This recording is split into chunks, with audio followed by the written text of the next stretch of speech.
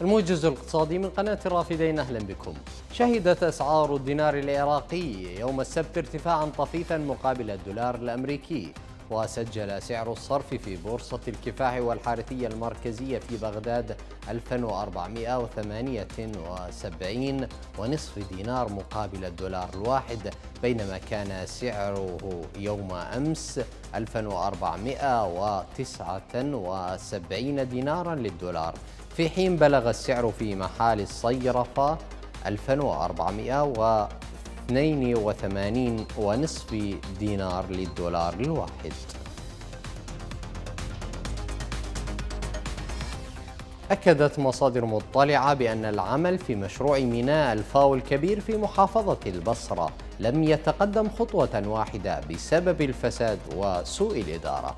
وأوضحت المصادر أن الشركة الكورية المسؤولة عن تنفيذ ميناء الفاو لم تحرز أي تقدم في تطوير المشروع رغم مرور ثمان سنوات على البدء به محملة حكومة الكاظم المسؤولية الكاملة عن توقف المشروع ورفض هيئة الاستثمار الحكومية للعرض الصيني الذي أضاف إلى عروضها أكثر من سبعة أو أكثر من سبعة مشاريع أخرى لتحويل جزيرة الفاو إلى مدينة صناعية متكاملة.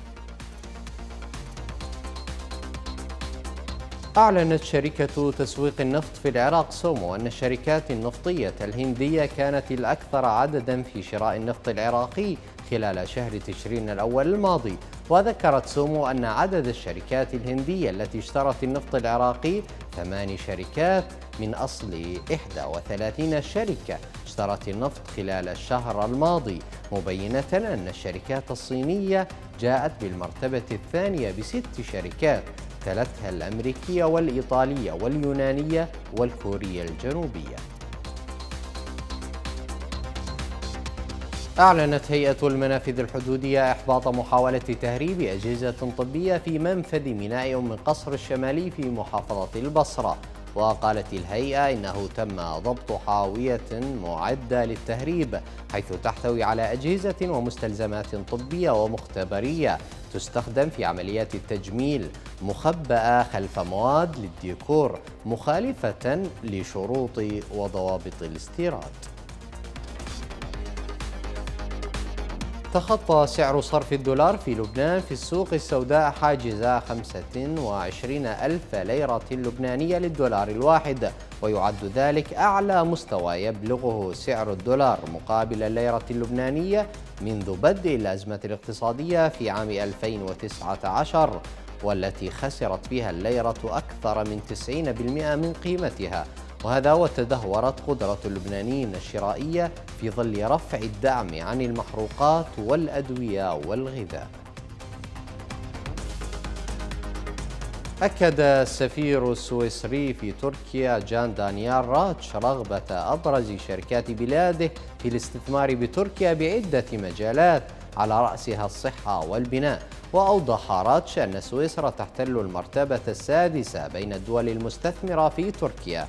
مشيرا إلى أن الشركات السويسرية بدأت في الاستثمار بتركيا منذ عام 1930 هذا وبين راتش أن هنالك مجالات مهمة يمكن الاستثمار بها أبرزها الصحة ومشاريع البناء الضخمة لافتا إلى أن تركيا تقع في نقطة هامة إضافة إلى بنيتها السكانية الشابة.